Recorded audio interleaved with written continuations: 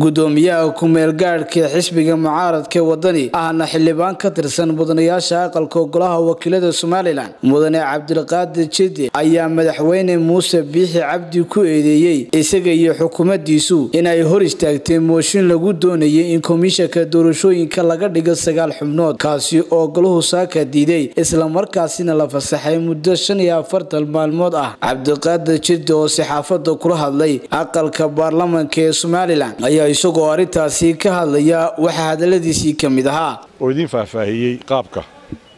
Laakiinse maanta mid baa muuqata. Midda waxaa muuqata in anigoo ka xun hadalkaa inay idhaahdo in golihii wakiilada ay xukuumaddu la wareegtay.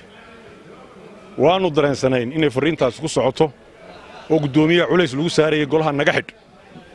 Warkaa waannu haynaa abasguul meel lama kuudato iska war haysaa baa layidhi waannu ogeyn in culays lagu hayo guddoomiyaha golaha wakiilada. La leeyahay naga xidh. Hadda waxa laga xidhayaana waxa weye waa wax saddexda xisbi ku soo heshiiyeen oo saxiixii madaxweynuhu ku yaallo. Ayaa haddana madaxweynihii xukuumaddiisii golihii inta ka daba yimaadeen ay leeyihiin xidh oo arrintaa dhigin. Maanta ummadda waxaanu u sheegaynaa golihii wakiilladu ma madax bannaana. Shirguddoonkii waa laga maroorsaday xukuumaddaana maroorsatay in golaha la xidhay in mooshinka la sortaagana xukuumaddaa ka dambaysa. Cid kaloo ka dambaysa ma jirto. Annagu gariiqaankanu ka eedi mayno shirguddoonkanu ka eedi mayno.